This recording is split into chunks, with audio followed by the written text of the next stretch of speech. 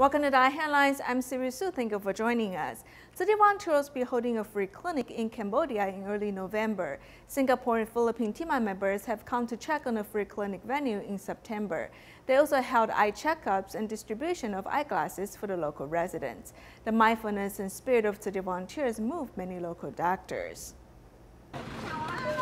Cambodian Tzu Chi volunteer will be holding a large-scale free clinic in Battambang early November.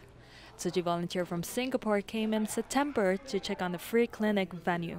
尤其是水电这部分，那个电力够不够，然后 we need to make sure we have stable water supply and electricity when we operate surgeries for patients.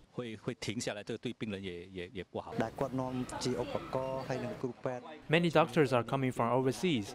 They are volunteering, helping the people of Cambodia. Philippine TIMA member also came in early October to provide eye checkups for patients. In a day, they treated 539 people. Among them, 40 patients will be undergoing surgeries. TIMA members also distributed 355 pairs of eyeglasses.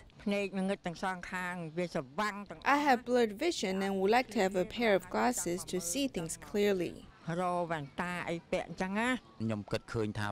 hope to have a surgery in order to see things clearly.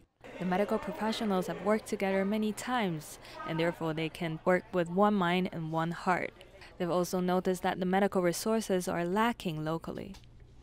We have this opportunity to collaborate together. It will be a good chance for us also, and mostly for the people in the province also. We hope that we can share our experiences, our uh, work, working together to help the poor in in uh, Cambodia.